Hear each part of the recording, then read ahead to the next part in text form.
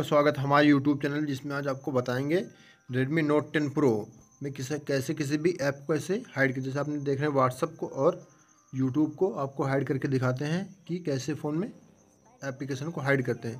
तो आपको सबसे पहले सेटिंग में आके आपको दिखाते हैं मॉडल का नेम कौन सा फ़ोन है। ये आप देख रहे हैं नोट टेन प्रो है। इसका सेटिंग में आते हैं। सेटिंग में सर्च बार में हम लोग टाइप करते हैं हाइड जैसे आप देख, जैसे मैंने सर्च कर लिया, वैसे ही आपको सर्च करिए, आप देख रहे हैं, यहाँ थर्ड नंबर पर हिडन ऐप पिक करा गया, उसी पर क्लिक कर देते हैं। यहाँ आप देखें, बहुत इजी है कैसे आप जिसको एप्लीकेशन को आपको हाइड करना उस पर आप टिक कर दीजिए। हमने व्हाट्सअप पे कर दिया अब यहाँ पे आके यूट्यूब म्यूज़िक हो गया, इस पर भी कर दिया, और देखते हैं कौन सी एप्लीकेशन चलिए ये दो पर हमने हाइड कर दिया। अब बाइक आ जाते हैं। पूरा स्क्रीन पर बैक आ आप देख रहे हैं पूरे एप्लीकेशन बार में कहीं भी आपको व्हाट्सएप नहीं दिख रहा है।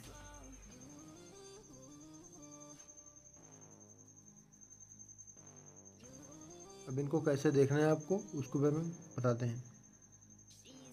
ये आपको दो फिंगर ये ऐसे देख रहे हैं आप, जैसे मैं कर रहा हूँ, वैसे ही आपको कर देना है स्क्रॉल ये आप देख रहे हैं दोनों एप्लीकेशन आ गई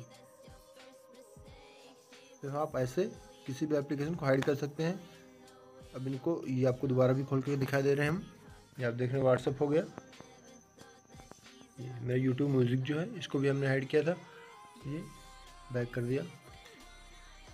ये आप देख रहे हैं, बहुत ही ईजी स्टेप में आप इसको ओपन करके देख सकते हैं। फिर आपको आते हैं सेटिंग में तो इनको कैसे अनहाइड कर देना है। फिर हाइड आप सर्च कर लेना है।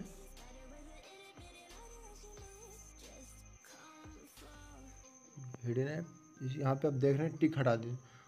ये आपको वैसी जैसे पहले आप थे, वैसी हो गए। तो फिर आपको वीडियो कैसी लगी?